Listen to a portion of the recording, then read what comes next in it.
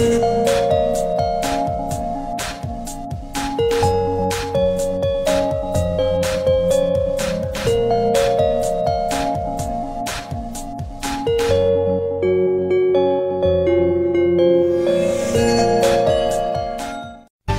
sexualidad femenina, un espacio en Radio Tentación donde se habla de aquello que nadie cuenta, pero todos desean saber. Te esperamos de martes a sábado a la 1 y 40 de la madrugada en la sintonía de Radio Tentación.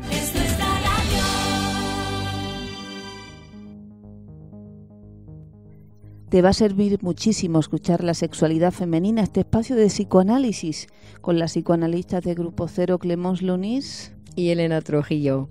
Muy buenas a todos, estamos de vuelta en este espacio corto pero intenso.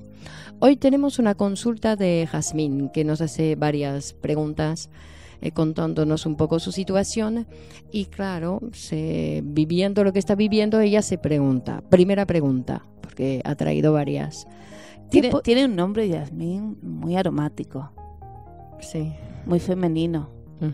Será determinante. Entonces, el olor algo tiene que ver con. Bueno, espera, espera la pregunta, Elena. No, no. ¿Qué poder o magia encierran los pies femeninos que a tantos hombres les lleva a someterse hasta el punto de convertirse en suelas humanas y admiradores de un olor natural femenino no ligado a la reproducción?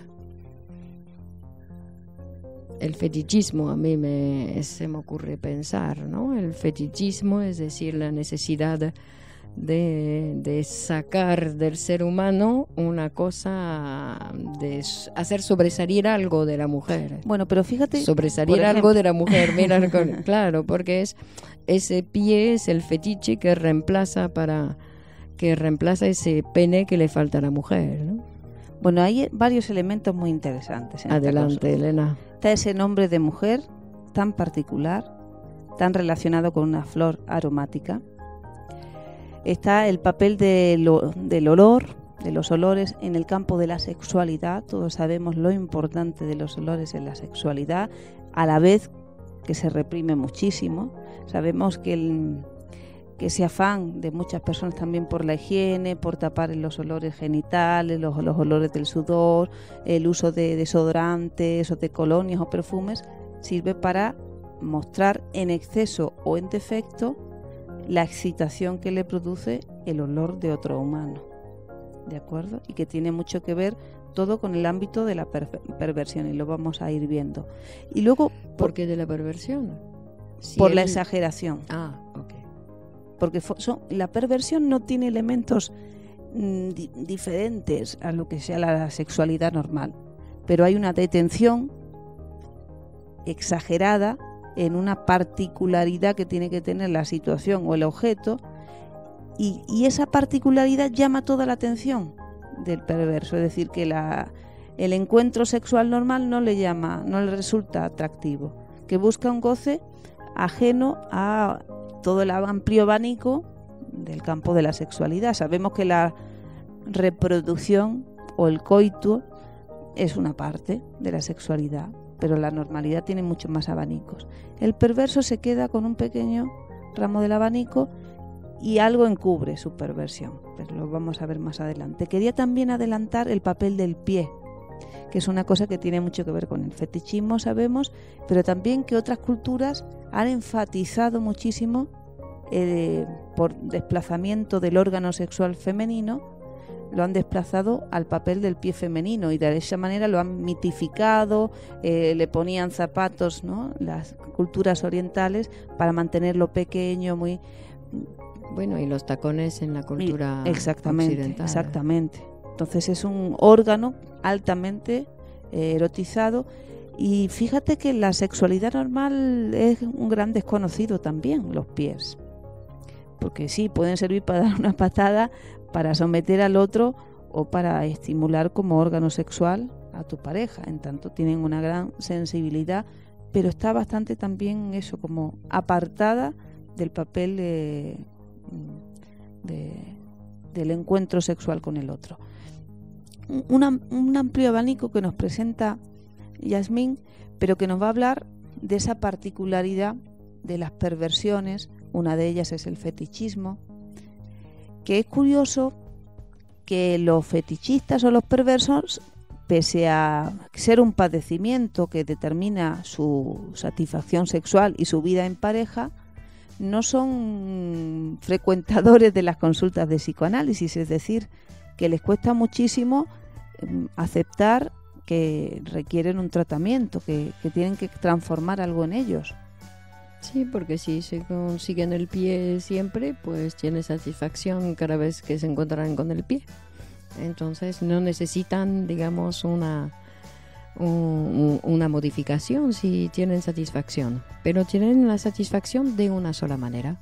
Es decir, que también podemos pensar que en su vida es lo mismo, no solamente en la sexualidad, sino que en muchos otros ámbitos de su vida va a ser... Están empobrecidos. Exacto.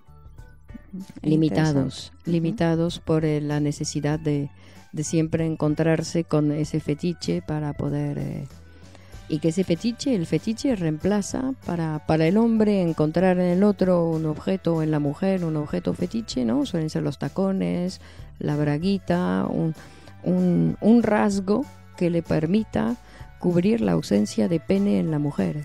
Claro, es súper interesante además que acontezca esto en, este espacio de la sexualidad femenina, porque el fetichista justamente se constituye, o el perverso se constituye en, ese, en esa complejidad de desarrollo de la sexualidad humana, que es el complejo de Edipo, y donde se posiciona eh, en el lugar de no aceptar la castración, de no aceptar la diferencia sexual, para el perverso no hay mujer. No acepta la diferencia. Aunque sea mujer, ojo, porque no es que uno, porque es mujer, entonces acepta eh, que haya mujeres, que eso tampoco, es decir, que somos dos seres, dos razas diferentes, como decía Amenaza el otro día, dos razas diferentes que viven en un mismo cuerpo, ¿no? Es decir, en un mismo psiquismo más bien. Eh, entonces, esa complejidad pero efectivamente es eh, pasar, es decir, que siguen en la, en la sexualidad infantil. Exactamente, que, que creo que le podíamos estar un poco mm, dificultando la comprensión a Yasmín o al resto de los oyentes cuando lo que queremos decir es eso, que una situación de perversión sexual, más allá de que pueda afectar o no a la, al disfrute de la pareja y a la convivencia de esas personas, eh, supone la permanencia a nivel inconsciente, a nivel del psiquismo, en una sexualidad infantil. Es decir, que todavía no ha podido lo que puede un adulto. Todavía no puede estar en el mundo como un adulto, como un hombre, mujer, que se relaciona con otros hombres y mujeres, con eso que decimos que, que no se trata de los genitales, sino se trata de los, de los psiquismos que se van a relacionar. Y ahí el abanico está totalmente abierto para un adulto, el que le permita también su moral. evidentemente. Pero el perverso se encuentra con esta problemática, que es un niño que no quiere crecer, que no quiere aceptar una ley, que la transgrede. Entonces, claro, uno no se puede fiar mucho de un perverso, porque el perverso se salta la ley. Las relaciones humanas están establecidas en base a leyes o pactos claro, eh, más allá de que cometamos errores o que nos separemos en el transcurso de la vida, podamos decidir tomar otros caminos, los pactos están para cumplirlos. Sí, para respetarlos, por lo menos de vez en cuando. Exactamente. Entonces vamos a ver que Yasmin tenían alguna pregunta más. Dice, ¿puede una mujer de verdad disfrutar ejerciendo este control con algo hasta ahora tan insignificante como un pie desnudo? Bueno, ha dicho antes Clemons que las mujeres también pueden ser perversas. Es decir, que también puede haber una restricción de su normalidad sexual por un rechazo a su sexualidad femenina, por un rechazo a la posibilidad de que no van a tener pene, de que no van a tener eso que atribuyen, porque en realidad es una atribución fálica, es atribuir que el otro, que hay un otro que puede todo, hay un otro que no se equivoca, hay un otro perfecto, que todos tenemos un afán de compararnos con la perfección, de maltratarnos, porque pensamos que hay un humano perfecto y nosotros somos imperfectos.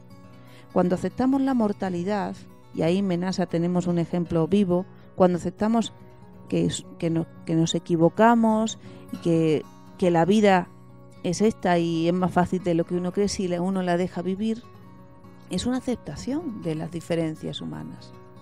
Es una aceptación de que ninguna persona es igual a otra persona, que no te tiene que gustar o no para poder respetarla.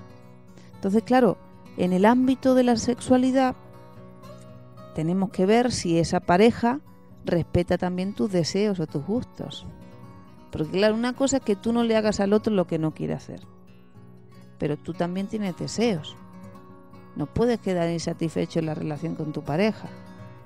O hay dos posibilidades o más, o también uno va a necesitar, para no ser un perverso igual o un insatisfecho, buscar otras relaciones. ¿Por qué? Porque bueno, su pareja puede ser así. O mí le puede gustar ahora desarrollar su, ¿no? su sexualidad de esa manera.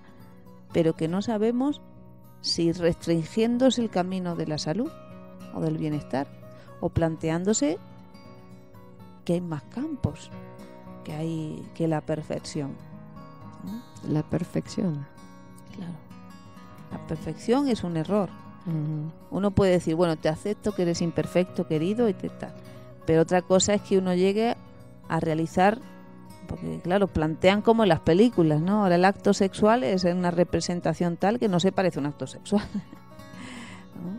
La sexualidad es todo el tiempo, decía Amenaza también, ¿no? De que me levanto a la mañana hasta que me voy a dormir. Pero, pero tiene que pasarme, no la puedo querer controlar. El problema es eh, repetir la misma escena siempre. Claro, esa misma manera de gozar. sé que tengo goce ahí y entonces repito esa, esa forma. Claro que controlar al otro con un pie ¿no? Parece que Está chupado, es una tentación.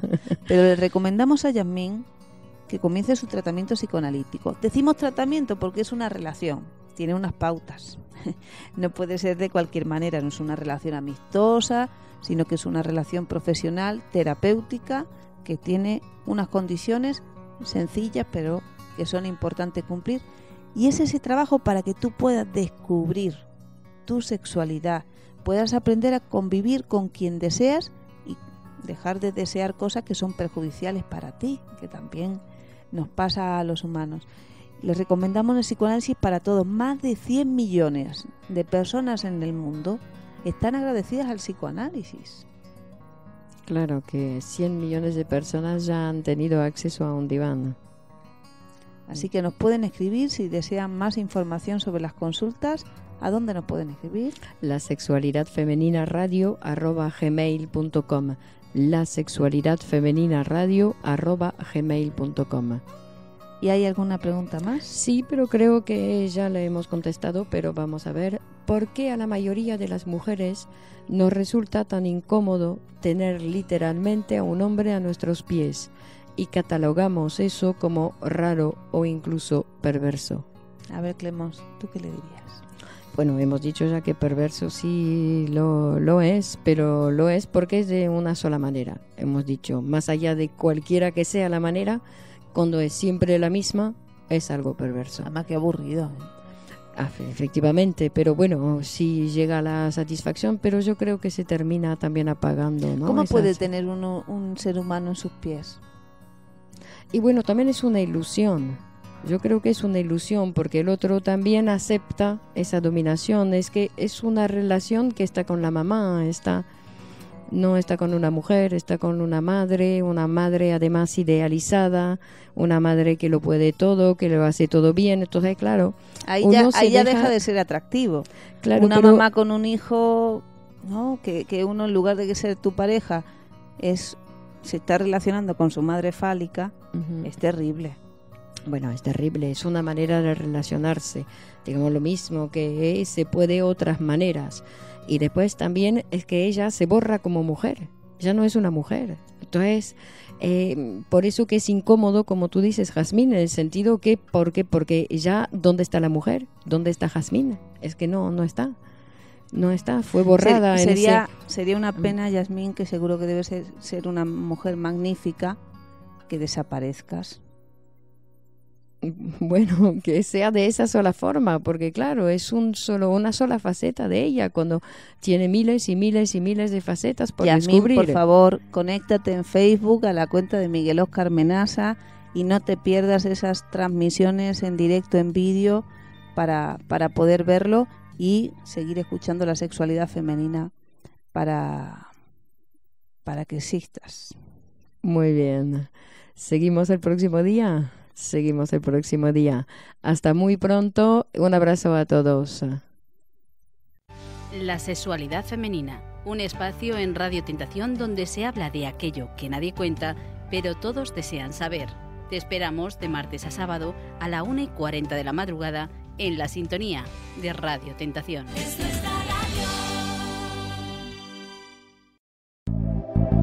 La vida se compone de innumerables pasos que a veces no sabemos a dónde dirigir. Psicoanalizarse es abrir un espacio en tu vida para vivir mejor los años futuros.